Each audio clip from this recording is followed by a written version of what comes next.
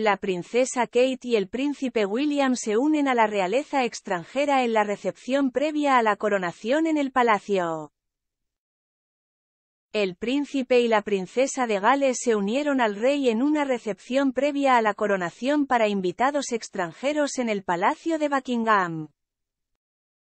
El príncipe William se puso un traje, mientras que su esposa, la princesa Kate, lució elegante con un vestido azul real de self-portrait con los aretes de diamantes y zafiros con flecos de la reina madre.